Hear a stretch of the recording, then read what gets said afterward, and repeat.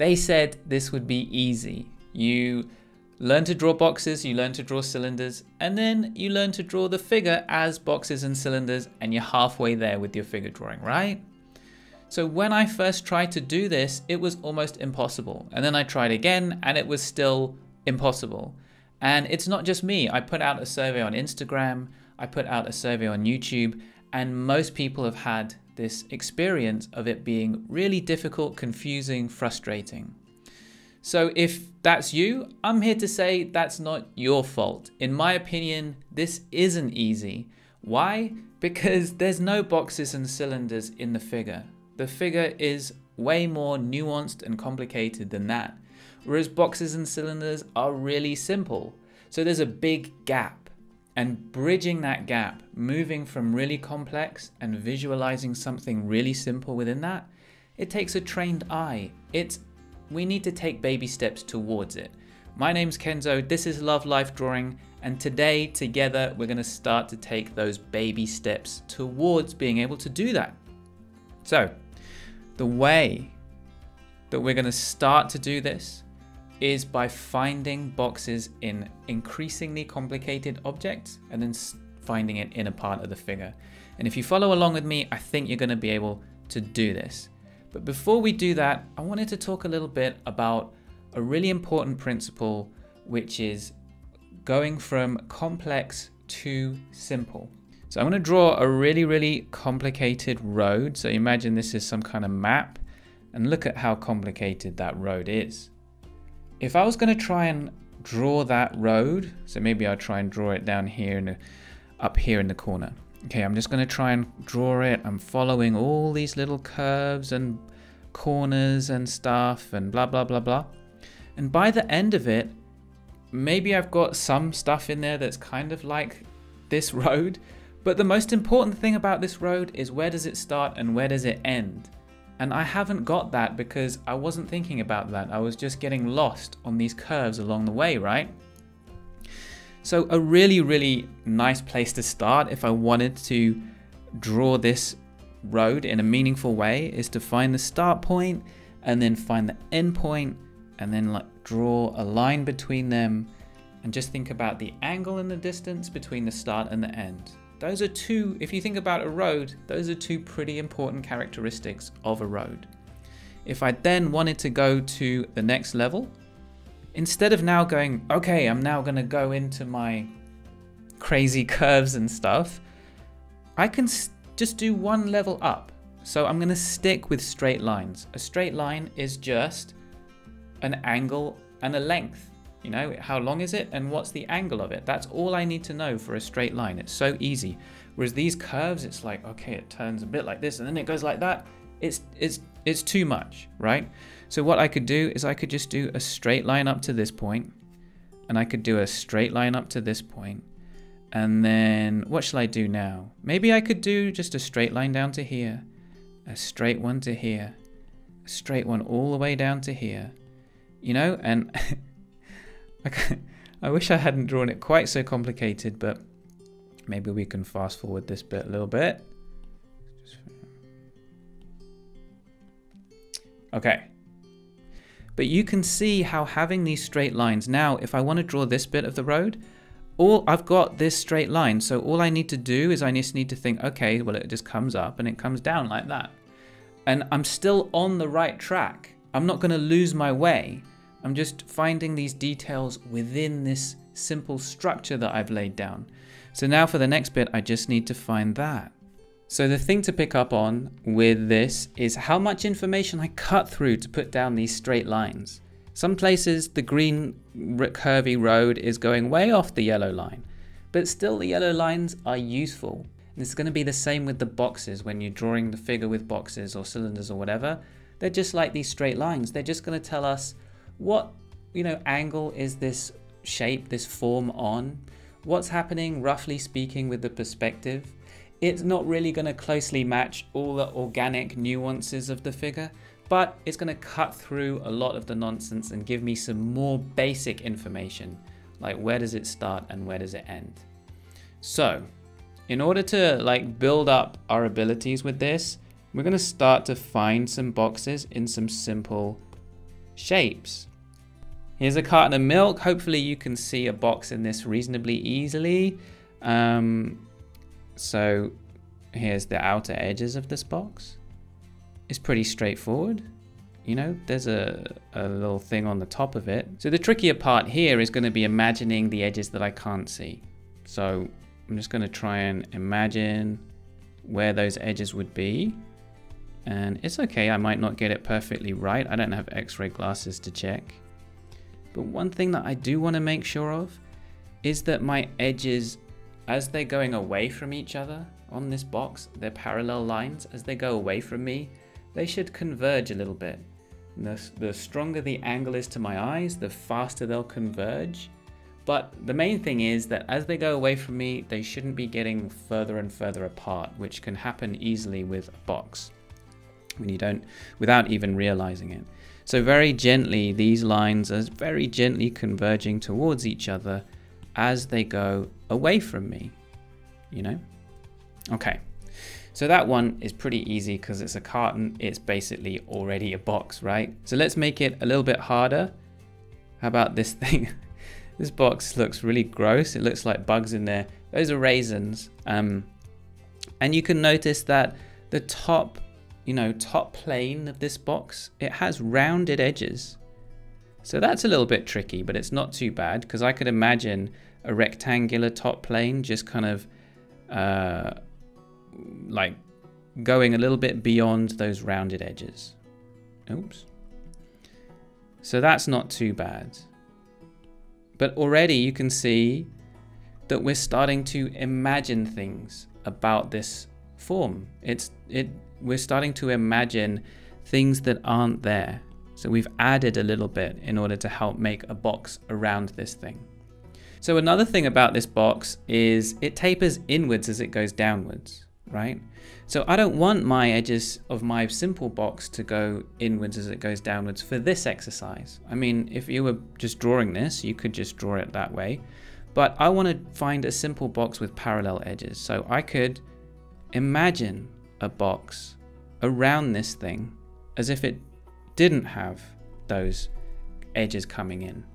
And this isn't the only way to draw this box. You could also have a box within this form. So you could chop off the bits at the top that stick out too far.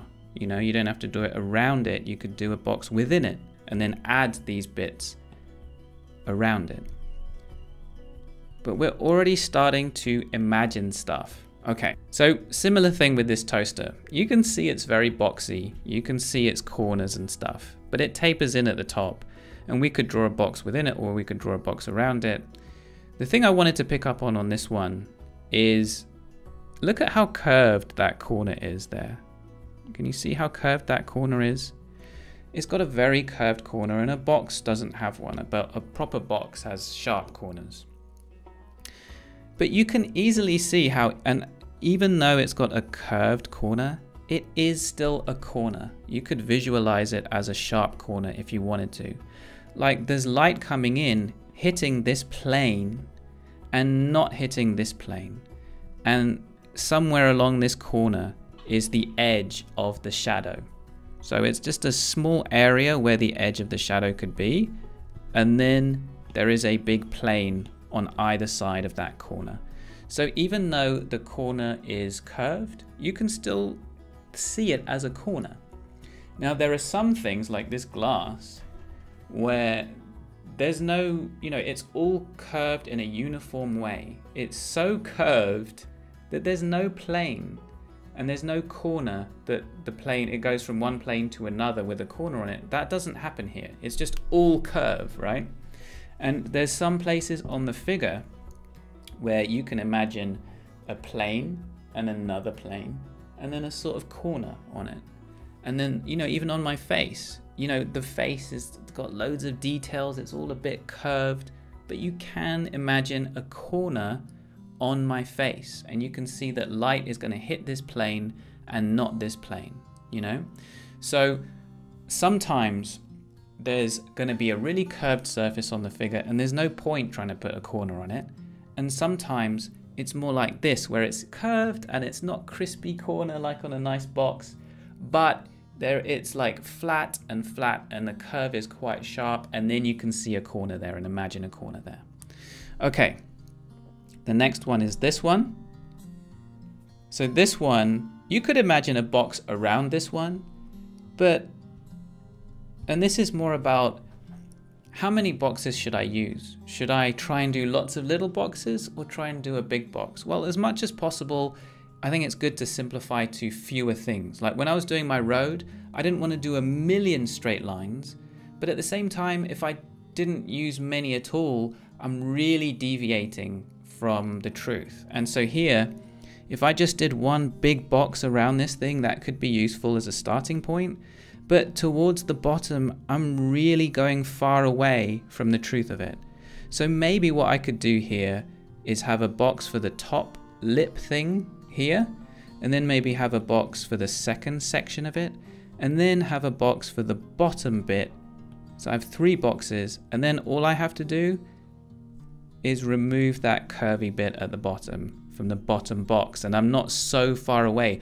So it's a balancing act. You don't want to use a million boxes and cylinders, but if you just used one big box, it might not be, it might be too far away.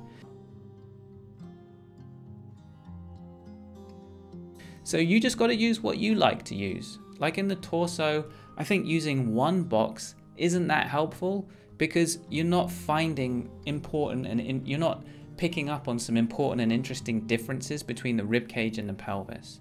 But two boxes is probably going to be enough. Okay, so the last one is this bleach. You guys are just seeing all our household goods here. This bleach thing. So again, this time you can see the plane here is curved. You Can you see those white lines on there? The plane is curved here. And even on this, on this side, it's curved. If we, if we see that writing, it's slightly curved on that plane. And again, there's a curved corner between them. But even though the plane is curving, you can see that it's still basically a plane.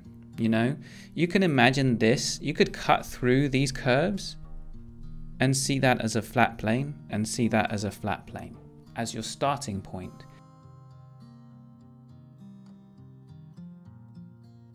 So it's time to apply this to the figure. Now I mentioned the rib cage and the pelvis and stuff, that is too hard to start with.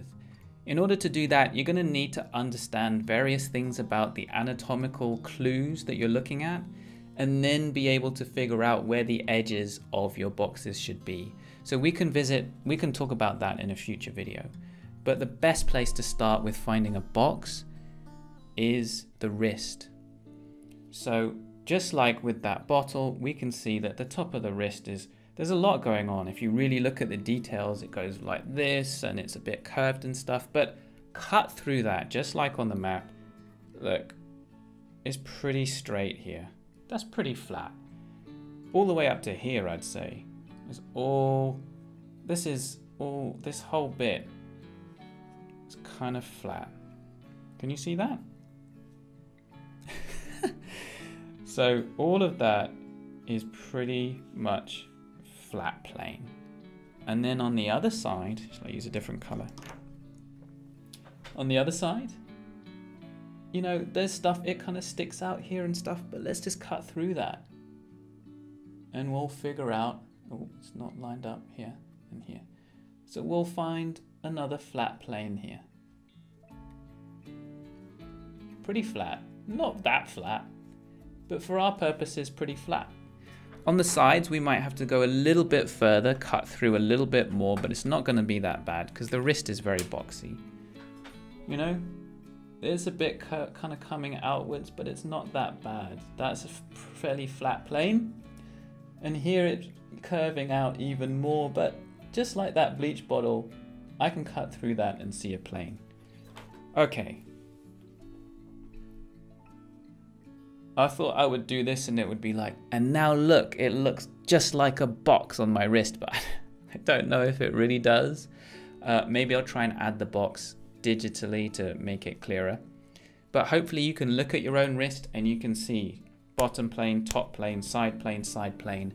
There's a little section of quite a flat box here.